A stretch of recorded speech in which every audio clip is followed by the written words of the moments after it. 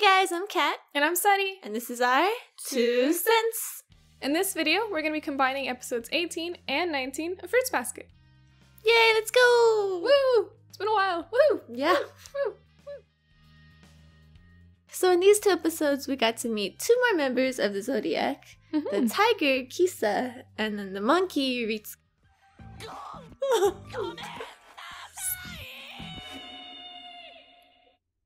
Oh, those are the best. Kisa Soma is voiced by Ueda Reina, who also plays Onoya in ReLIFE and Ruri in Dr. Stone. Ritsu Soma is voiced by Kawanishi Kengo. He plays Rei in March Comes In Like a Lion, and he is also in Doctor Stone as Asagiri Gen. What did you think of them? They were cute. They're cute. Their stories were sad. Yeah. What did you think about them? I mean, I wasn't surprised because I already knew them. Oh, that's right. You read the manga. That's right. I have been waiting for them to come in. Like Kisa's episode, I've been waiting for. Oh. Because it gets me every time. Oh, really? I think she was in the she was in the old one, but I don't I didn't remember her at all. They were both in the old one. Oh yeah, you're right. Actually, yeah, yeah. It's been that long, guys. I do like that you get to see different ways that they all handle the same problem, different ways that the people around them have handled it. Mm-hmm. Yeah. This curse. Like the parents for each of them. Kisa's mom, she looks like she tries hard, but it's really taxing on her. Mm-hmm. And then Ritsu's parents were always apologizing, so now he's the way he is. It just shows more of like the whole Soma dynamic. hmm And I like seeing the way the characters we know react with them. Mm-hmm. Like how they're just like, oh, you're here?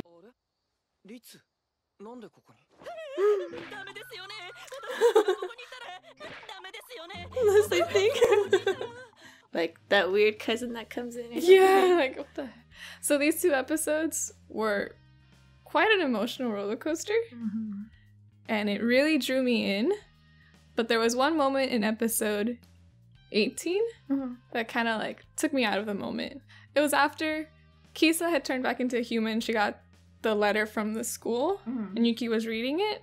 And he said something to the effect of, like waiting for someone to love you before you can love yourself.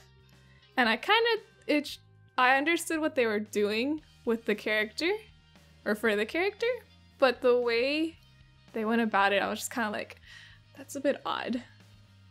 Cuz I know normally you hear like you have to love yourself before someone else will love you. Mhm.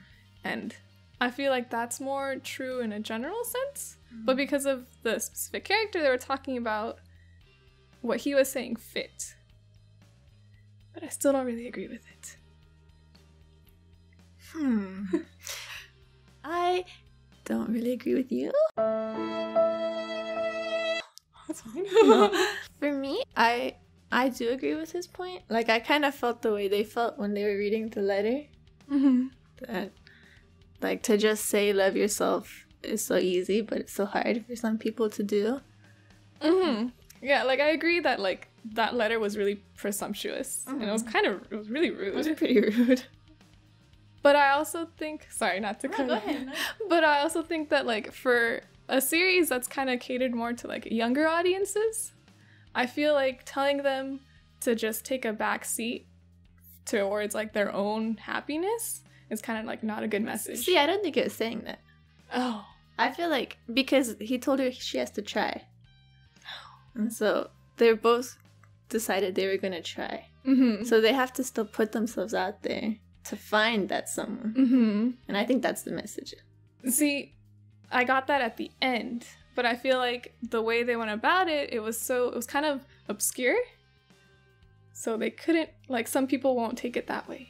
Well, I don't know because it's like the whole reason he said it was to get her to talk, to get her to come To out. try. and she did. She Mhm. started talking, and the reason why she could do this is because she has Toru now, Mm-hmm. who's that person who accepts her. Mm-hmm. But then Okay. there's that thing about like having to wait for someone. But it's I don't think he said wait. It's just find someone. Or Like- wait, fine, you know. But you can't find someone if you're waiting. If you're just like holed up at home alone, not talking to anybody, Mm-hmm. You're not gonna find that person to help you feel better about yourself. Mm-hmm. But so like for both of them, they've now that they've been able to find somebody, Mhm. it's easier for them to accept themselves. Right. Like, I get that. Basically, I just feel like the way they went about it in episode 18 could have been a little more clear. Because in episode 19, they kind of like rehash it and it seems more direct what they're trying to say. So it's kind of like the same message, basically. So I feel like, like it's not wrong. I just think they could have gone about it a little bit better. I feel like the way they did it helps show people that it's not so easy for everyone to just love themselves. Mm-hmm. And it's kind of portraying that message. Like the smallest thing you do could be that thing that helps someone. Mm-hmm. That's true. Also. Before with episode 16 and 17, Mm-hmm. I would wondered like why they moved it because it was in a different place in the manga. But I feel like that kind of also adds to this point because you see, back then Uotani was kind of in that dark place, and then she Mhm. found Toru and Kyoko and, and was able to come out. So now you see her in the present, Mm-hmm. but it was thanks to having the people who accepted her for her to be able to accept herself. Mm-hmm. But then it also goes back to like you're you still need like an external force to help you out. And that's the thing where it's that's kind of also an issue I found with it where it's like not everybody's going to be able to just instantly, you know, care about themselves, but it shouldn't also be like a, an external force that helps you out. Like it can be like a combination of everything, I Hmm. think. But the way they were saying it's like, "Oh, it's this." this is what's gonna help you out. I felt like that was like, oh, maybe you shouldn't be saying specifically this because people might take that literally. That was that's my big concern about it. I mean, for me, I feel like it's more like not necessarily like that's the only thing that's gonna help you, but it's okay if that's what you need. Mm, yeah, I'm, I'm not saying it's like wrong. I know, but I'm just saying that's how that's how, I you took it. Yeah. Like even in episode 19, how like Ritsu didn't have a reason for living, Mm-hmm. and Toru just was like, it's okay to keep going until you find it, Mm-hmm. Mm-hmm. even if you lose it, Yeah, that's to what. keep going. Yeah, that's what I'm saying. Like they were more they were more direct about it in that one. They were Hmm. more clear about the, what their message was. So that was I agreed with that one. I was like, yeah, that's that's good.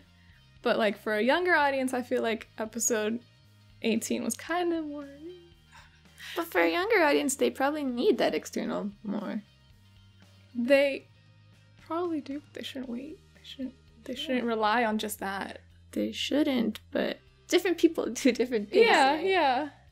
But uh, that's what I'm saying. I think like just the way they went about it, it kind of like put too much emphasis on having an external force for episode 18. And then episode 19, it kind of like cleared up that message.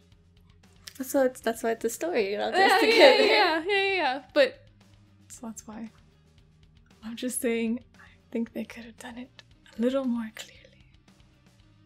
But that I like that they cleared it up in episode 19. 19. Cause, and I think that like with the way they ordered it, because I didn't know that episode 16 and 17 were like in a different order. Mhm. But with the way that they ordered it, it helps. Like it's kind of like the progression of that message. Mhm. But I don't know. I feel like people might attune to what um what's her name? The tiger. Kisa? Kisa. I feel like people might attune to what Kisa's going through more. And so they'll listen to that, specifically that episode more. Like younger audiences might listen to that episode more rather than, you know, the the next episode. I like though how there's this continuing theme of not being able to see your own value, but others seeing it, like with the rice ball analogy. Yeah. I was thinking of that too. and that for most of these characters, like especially the Zodiac characters, they all pretty much hate themselves in some way. And so Yeah. Toru's the one who sees their umeboshi. It's good storytelling. Mm-hmm. Like the way everything connects. Yeah. Not the most obvious way, but it, it all like weaves in together to form this one great story. And I like that it's not just like two episodes, but all throughout. Mhm, All throughout everything, yeah.